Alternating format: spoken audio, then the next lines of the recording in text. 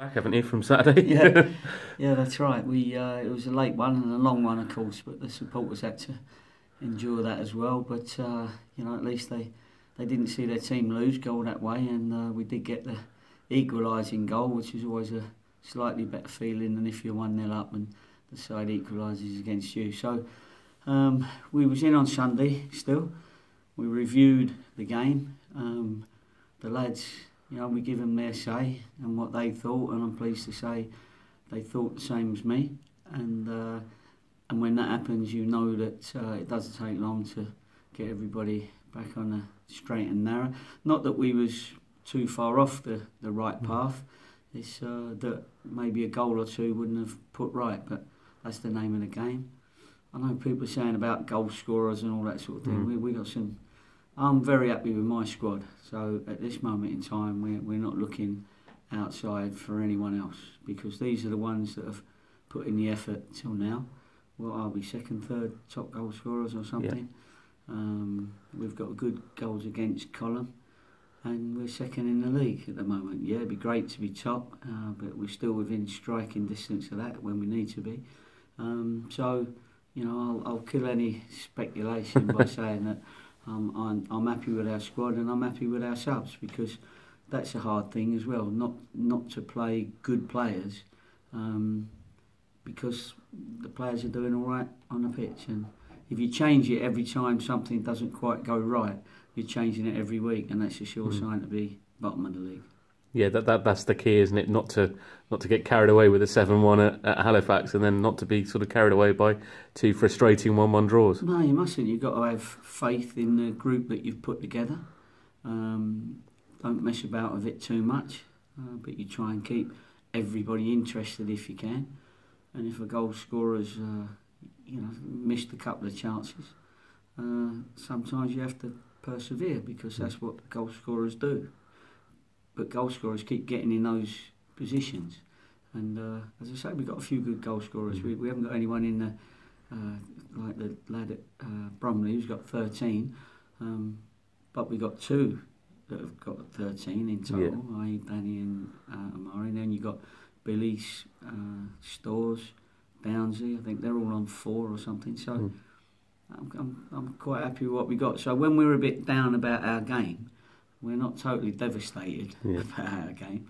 Um, it just means that we're not quite reaching the standards that we're requiring of ourselves. That's the important thing. Yeah, you, you seem to have read some of the comments by fans, like like I have after well, the I, game. Well, I always do, yeah. and uh, you know, all fans, not all fans, but you know, a lot of fans understand what what you're mm. saying because I, I'm never going to lie to you and, and pull the wool over people's eyes and say oh, it was a fantastic performance if it wasn't and I don't do that with the players either. But then they don't do that. You know, every time I listen to their comments, we've all seen the same game because mm. they know the game that we're aspiring to. They know it, mm. and we've seen it in you know certain parts of games, um, and we know it's there. So you've got to keep going and, uh, and making sure that continuity, if you like, in time uh, gets you results. The manager's got to keep showing the squad that he believes in them. Mm and uh, the way you do that, you you review things and you go, okay, now go and do a little bit better, or go and put it right, or that's that's the way to get a healthy squad. But the final one from in terms of the, what the fans are thinking, some of them are saying maybe time to bring back the two strikers, particularly on loan. Have, have you had any thoughts about bringing Bobby and, and no, Harry back? Uh, not at this moment in time because uh, they'd only at best be on the bench at the moment, and, mm. I, and I just don't think they'll be getting enough games to help them. At the moment, when you're a young lad and you haven't had many what you class as first team games, that's what you've got to do to gain that experience. And if they can get 20, 30 games under their belt somewhere, then that's better than waiting for 10 minutes here, 10 minutes there. Um, and uh, Bobby's got a problem with his knee at the moment anyway. But um, no, the squad is as the squad is, and I'll bring people into the squad that have not been around it yet, i.e., some of the young lads, um, at the right time. Mm-hmm. Um, obviously, a, a, really long day on Saturday, and uh, coming back and then training yesterday. Did did did everybody get through okay Saturday, both the game and the and the sort of the arduous journey and so on. Yeah, they did. They did. They're uh, footballers know that Yeah. they got long trips sometimes, you know, and uh, uh, it takes them probably an hour or two after the game to reflect, and, and then they get back into their personalities, which Mm. you want them to. Um, because we didn't lose again. Now, the good thing is when we're not, if we're not at the top of our game, we're not getting beat Yeah. necessarily.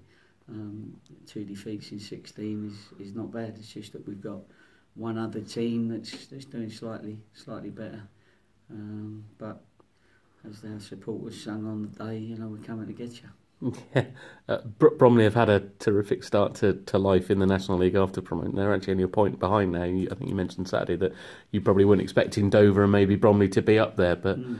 that they, they've shown that they're they're right in this race, haven't Yeah, they, they, they've shown that they've got that quality of um, defending.